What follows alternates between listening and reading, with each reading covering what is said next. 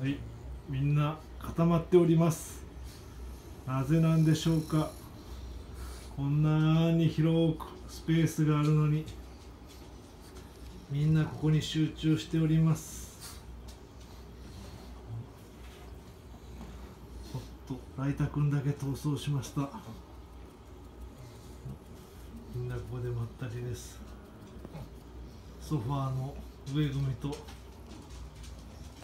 下組に分かれております。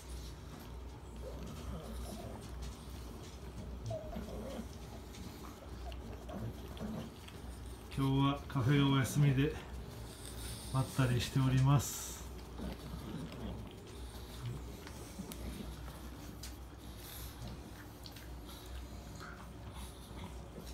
はいゆっくり。